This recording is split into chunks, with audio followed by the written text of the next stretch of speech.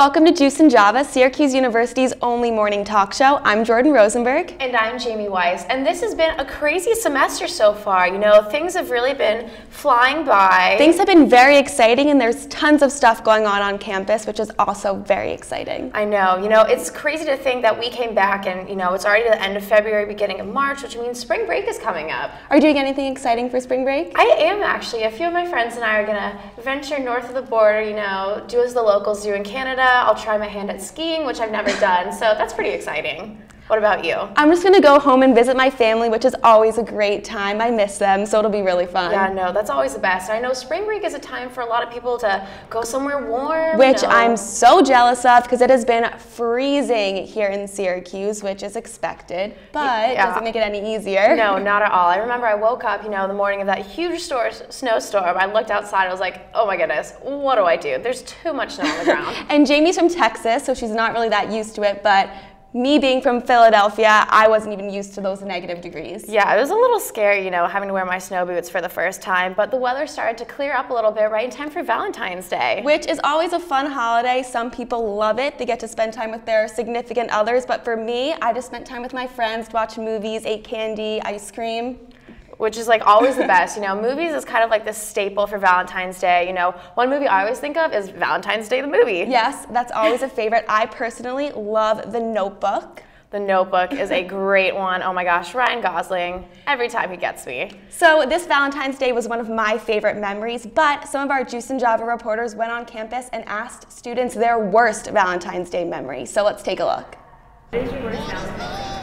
Um, I would say one time in middle school, like sixth grade, I had a crush on um, this boy who's like my best friend. And I went to go put a Valentine in his locker and I ended up playing in the wrong locker, so it was really awkward. Valentine's Day, so I don't have any memories. Um, in third grade, one of those corny um, Valentine's Day cards I wrote to my crush, we were so touched love my friend stole from my dad like 10 years ago. Well, I went to Walmart and bought a bunch of Valentine's Day chocolate because the Valentine's Day M&Ms are better than the regular Valentine's Day. It's really good. um, kind of got some girl marathon. My worst Valentine's memory is a few years ago I asked this girl out that I've had a crush on for a long time and she kind of rejected me. So later that night, I had like one of those scenes that you see in a movie. I went home, bought a box of chocolates, sat down, watched a romantic comedy, and just sat by myself the whole night eating the box of chocolates. Um, sophomore year, my boyfriend and I were celebrating our Valentine's Day slash like six month anniversary, and my roommate came and crashed our dinner. So a couple years ago, I went to ask a girl if she wanted to be my Valentine, and I walked up to her, politely handed her a card. She looked at it, read it, smiled, started to cry, slapped me in the face, and then walked away without saying anything. And yeah, that's my worst Valentine's Day experience. Okay, so last year my friend took me out to dinner, and then drove home, kissed me, and I cried.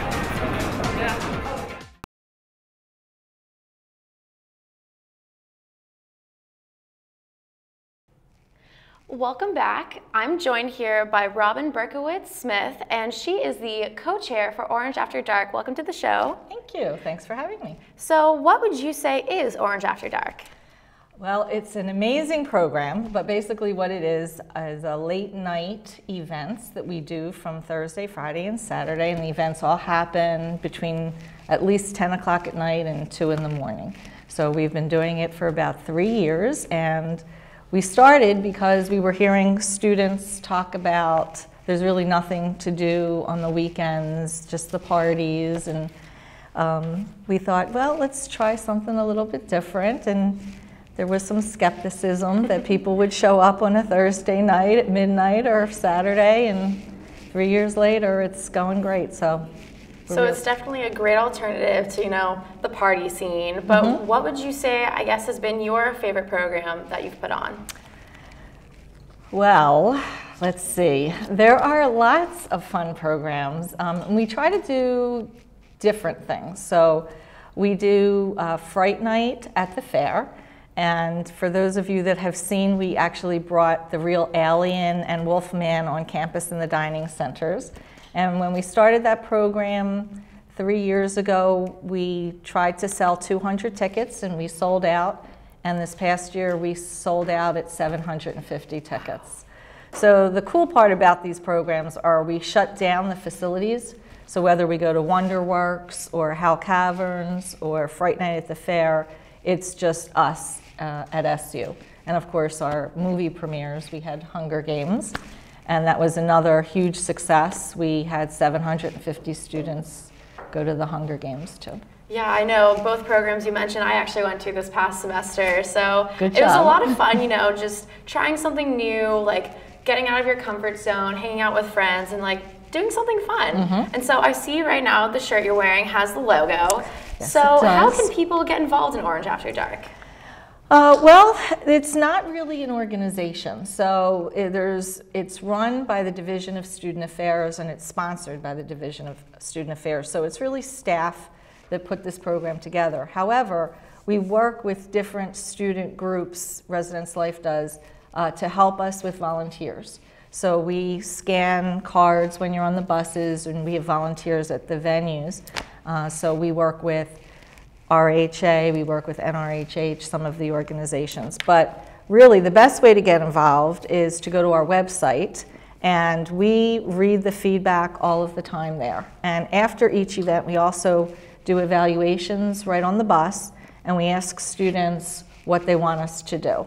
So that is really, really helpful. So that would be the best way. Great. And what would you say are some exciting new programs coming up this semester? Okay, well, we just went snow tubing on Friday, and that was a lot of fun. Um, and I, I was actually going so fast, I went over the ditch, but I'm safe and in one piece. Uh, we also have Dave and Buster's, which is brand new since they opened, and that is coming up on February 6th. Um, the only thing is, we're sold out. We did sell out within two days on that. And then the one after that, we're going back to Greek Peak, and they have a indoor water park uh, with wave pools and tubing, and that is coming up on February 28th. And our movie premiere this year is Divergent. All right. Well, those all sound so exciting. Thank, you, so much for coming to the show. Thank you. And you know, that's not the only way to get involved in some sort of entertainment. Some of our Juice and Java reporters went to go interview the dancers from DanceWorks about their upcoming show. So let's take a look with what they had to say. I'm here at Flanagan Gym, and behind me, DanceWorks is working really hard for their upcoming show. Syracuse University has a lot more to offer than you probably think, and if you like the arts, especially dance, DanceWorks is something you should definitely check out. Let's go take a look. Will you still love me when I'm no longer young and beautiful? Will you I'm here with Katherine Robinson, one of the dancers for DanceWorks. So, can you explain what exactly is DanceWorks? Right, so I've been in DanceWorks since my freshman year last year, and it's one of the biggest club sports on campus. Everyone auditions in October, and then we have dances running through the entire year until um, the show at the end of February. And so you can audition for up to three your first year. I'm in four this year, and so um, it's an hour and a half a week per dance. Yep. Cool. So, what is your position in DanceWorks? I'm the assistant producer this year, and I was also the homecoming co-director. So we already had one show back in October, and I kind of ran all of that. So now um, I'm just kind of helping out our producer for the upcoming show. Oh, very cool. And what is your favorite dance this year? That's a tough one. I don't know if I could pick my favorite dance, but I'm in um, our director's dance this year, and I wanted to be in it so badly last year and didn't get it. So that was like my goal for this year was to try to get into her dance. So I'm in that one, and then Morgan's is my other favorite one. That's what's going on right now. Um, it's to Young and Beautiful, so really big song right now, and it's really sassy and fun. So, what are you most excited about for the upcoming show? I think I'm definitely most excited for Tech Week this year. That's the week leading up to the show. We have dress rehearsals for that entire week. Pretty much every night we're in Goldstein Auditorium practicing. And that's the night that everyone in the entire show is there. So I have friends that are in other dances that I don't get to see every week, but that's the time that everyone's all in there together. And then my parents are coming for the show. So it's really nice when um, you get to see everyone's family and everyone's just really hanging out a lot that week. So, for students that want to come to the show and get involved, what is the information and the dates and times? Right. The show is the last weekend of February, first weekend of March, that Thursday, Friday, and Saturday. And I think ticket sales are starting um, within the next few weeks, definitely. And for students that want to get involved, do they have to wait till next semester to audition? They do have to wait until next semester, um, but it's really exciting in the fall. We have workshops starting really early, so as soon as you get back um, from summer break, we have workshops starting before auditions to kind of get people back into the swing of things. And then auditions is a whole day long process, but uh, it's definitely worth it afterwards. And our practices um, run up until the show. And then we actually, it's exciting because after the show ends in February, we have those workshops again afterwards. So we're not completely done yet. So be sure to mark your calendars and save the date for DanceWorks. The girls have been working so hard and the dances are incredible. Tickets are $3 for students and $5 for staff. You're not going to want to miss this.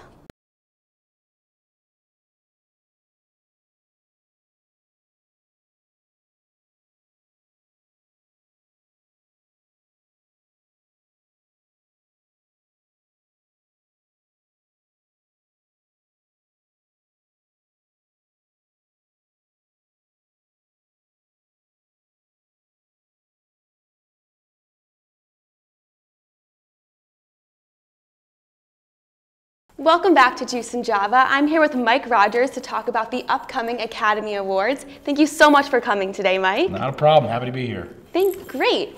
So let's get started. Obviously, the most coveted award is Best Picture. What do you think is going to happen with that? Well, unlike last year where we were like pretty sure that Argo was definitely going to win Best Picture, at least I was.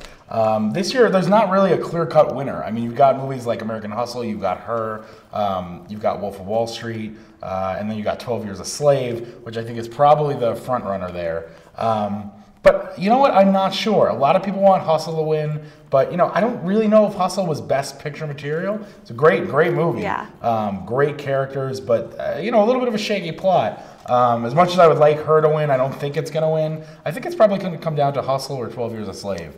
Um, and 12, 12 Years a Slave, just being the nature of what the movie is, might get the might get the win. Yeah, of course. And then, of course, we have lead actor and actress. What about those two? Yeah, well, lead actor is another tricky one because it's you know it's like Leo's like last shot to get like to win an Oscar because he really deserves an Oscar. Let's let's Yeah. face it, he's a great actor.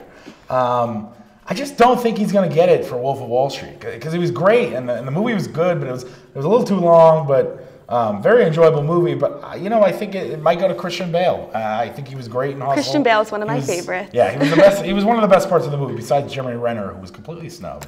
Let's not talk about that. And then, of course, lead actress. What about that one? Um, I think my pick for that one, Sandra Bullock in Gravity. I think she was really great. Um, I think it was a great, great movie. I don't think it'll win. I think it might win Best Director. Um, I guess we'll get to that later. But, uh, yeah, I think I think Sandra Bullock might might take that away. Definitely. Um, I think Amy Adams. I'm not sure if she's for uh, lead or supporting, but she might win something too. Yeah, of course. And then, as you mentioned, best director. Do you have any other options except for Gravity? I, I really think Gravity's going to win for that one. I, that and like sound editing and sound mixing. I mean, Gravity. I don't know if you've seen it, but it, it was like it was an amazing experience. I saw it in IMAX 3D. Wow, that's awesome. And it's like the sound is different when you're inside of like Sandra Bullock's helmet when you're outside of the helmet. Oh, wow. And it's just it's a really innovative experience. I think that's got best director. And then every year we always have those unexpected nominees. What do you think about those this year? Yeah, I mean, well, Dallas Buyers Club, I feel like kind of came out of nowhere. Um, I think Matthew McConaughey might win something for that. I think that was kind of racking up at the other award shows. Um, I personally haven't seen it yet, but I hear really good things about it. Uh, and then you got things like Iron Man 3 and The Lone Ranger, which are like up for Oscars. But that's just for like, you know, like sound editing, stuff like that, and visual effects. Right. Um, and uh, then, of course, you've got some other movies like like Frozen, which, you know, it's it's pretty clear like Frozen's to win anything it's nominated. Yeah, it was a great movie. I saw it and I loved it. Yeah, I've seen it like twice already, so it's, it's a great film. Do you have any personal favorites this year? Um, I love her. Her was, I think, the best movie of the year. Uh, Inside Llewyn Davis deserves something. Um, I really like Gravity a lot, and you know, even though I think a lot of people are kind of putting American Hustle down a little bit because it was like so revered, I loved American Hustle. Yeah. Um, regardless of how shaky the storyline was in the middle, um, it's great. They have great actors. You got Louis Louis C.K. I mean, anytime Louis C.K. is in a movie and he's really good, I love it. I love that. Right. and then, do you have any last comments for today? Yeah, I mean, you got to watch the awards. It's going to be a great show. Um, And you, you got to just like vote for your favorites, root for them. You got to fill out those like a, award like those nomination like, Oh, yeah, definitely. and then just like bet on it and win much tons of money. Yeah. That's that's my that's my recommendation for all of you is make lots of money. Thank you so much, Mike, for coming today. I really enjoyed hearing your opinions on Absolutely. the Oscars. So another show was viewed by thousands this year, and it was, of course, the Syracuse versus Duke basketball game. Some of our Juice and Java reporters went out and interviewed people that were waiting in line outside the dome. Let's check it out. Hi, we're here at Gate E at the Carrier Dome where students have been camping out for two weeks now to get front row seats to see Syracuse play Duke, their new rivals in the SEC championship. So let's see what they have to say. Well, we came out not this past Sunday, the Sunday before, Yeah. so I guess it's been like nine days now. So been out here for a while. How long of shifts do you guys have? Normally the day shift or the night shift? It depends, you know, we switch in and out, you know, depending on who has class and who can do the overnight. So like the overnight shifts tend to be the longest. When you're here during the day, you're typically only here for like three to five hours at a time. So the way it works is you can have up to four people in your group. Yeah. Um, and then from that point forward, one person from your group has to be there um, at all times. You get like a 15 minute window if you need to use the bathroom or if people are coming to and from class.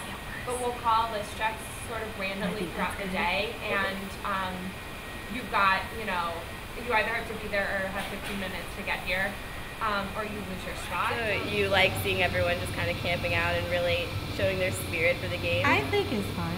Yeah? Yeah, yeah, yeah, I do. But we do have another group at Gate D.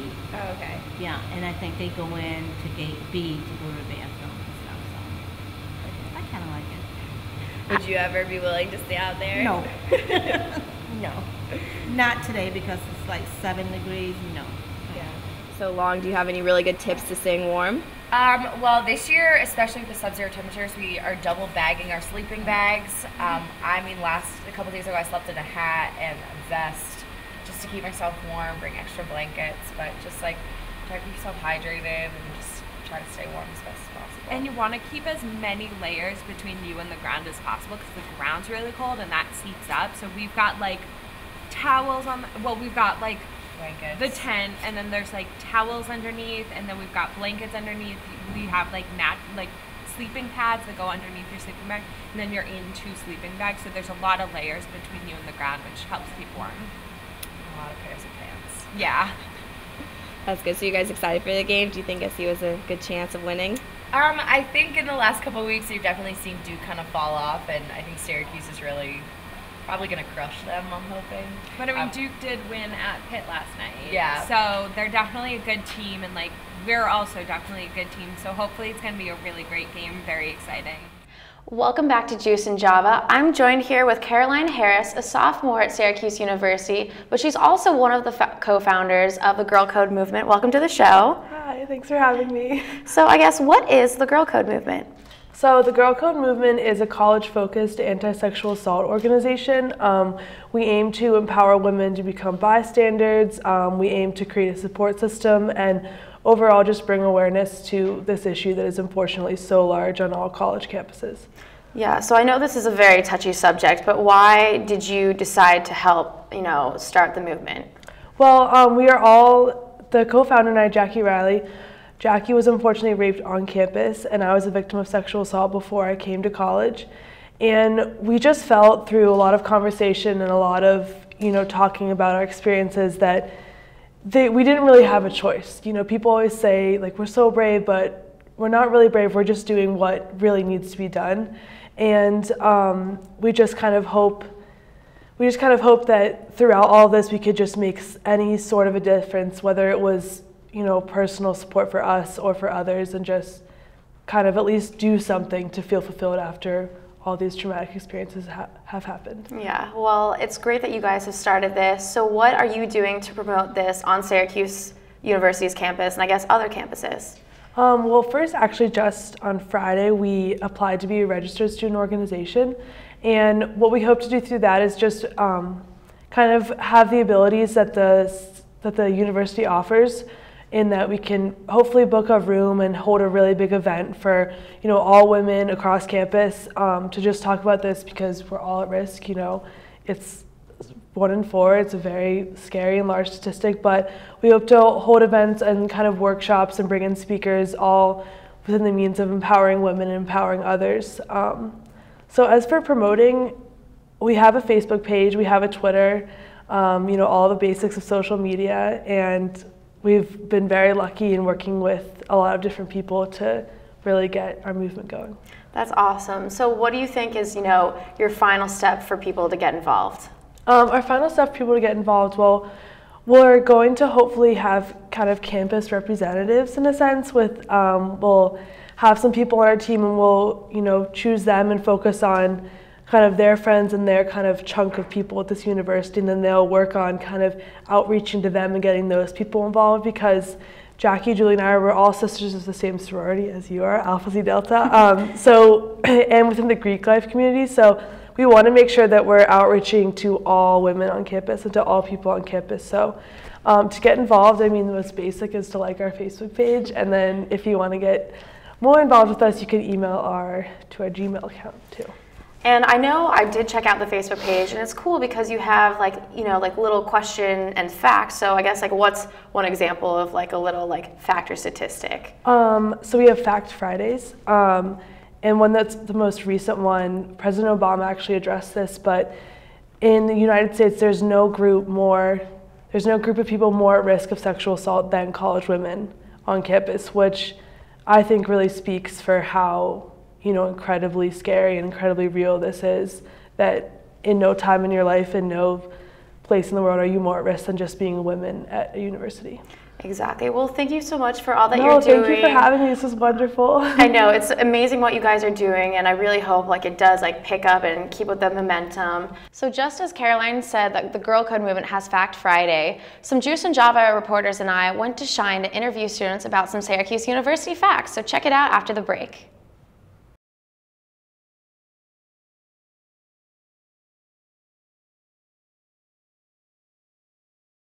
Kent Sever. Kent. Ken. Cliff. Nancy. I have no idea. Sorry. I honestly don't know. Is it a woman? Um, well, I don't know, but I do read his emails. I think it's like a Kenny, Ken, Kevin, Cameron. I'm not sure. I don't know how to pronounce last name. As something. I have no clue. I don't know. I get emails from him all the time, but I have no idea. Is it like Kevin? I don't know. Our new chancellor is Ken Syverud. What year was Syracuse University founded? 1893. I don't know. 1870. 1897. 1911. 1870. University was founded in 1870. What were Syracuse University's original colors? They're different than they are now. They were different. Black and gold. Pink and green. Orange and blue. This is a trick question. Pea green and pink. And Syracuse's original colors were rose pink and pea green. Welcome back to Juice and Java. Jamie, I have to say that trivia was so funny. It was honestly so much fun, you know, going out to Schine, filming everyone, asking them questions. You know, I'm kind of surprised people either really know their trivia or don't. Do you want to hear some bonus trivia? Yes, of course. So, you know, right now our mascot's the orange. Of course. Clearly. But, you know, we actually, our original mascot was the goat. Wow. Pretty, pretty surprising. I did not know that. That's crazy. Also, I thought it was so funny how our original school colors are pink and green. Yeah, definitely uh, pretty girly school colors, but yeah, actually, I'm, I'm kind of glad we're back to orange. You know, it goes with our mascot. Yeah, orange and blue is definitely a solid. Good way to go, Syracuse. Definitely a solid color scheme, solid mascot. I'm a fan overall. Yes. Other than the trivia, we had a great show today. Amazing guests. We learned so much. It was so great, you know, getting to talk to Robin about Orange After Dark. I'm so like glad the two programs she talked about I got to go to. They were I'm so much fun. So jealous of you. That seems like a great time. I definitely need to check out some Orange After Dark programs, especially because everything is only three dollars. It's it's great. It's so affordable. You know, it makes it so nice to get a change from the Syracuse party scene. Yes, and it's, and it's nice. also a great way to get off campus and try something new and really explore what Syracuse has to offer, which is a lot. Yeah, no, there's so much. And, you know, we also got to talk to review crew, talk about the Oscars. Which is one of my favorite subjects. And then Caroline about Girl Code. It's such a great movement. It's a great thing, definitely very empowering, and just something that really should spread to all campuses. Make sure to check us out on Twitter, Facebook, and Instagram. All the links will be on our Facebook page. Check it out for exclusive content and extra clips. I'm Jordan Rosenberg. And I'm Jamie Weiss. Thank you so much for watching the show. And we'll see you next time.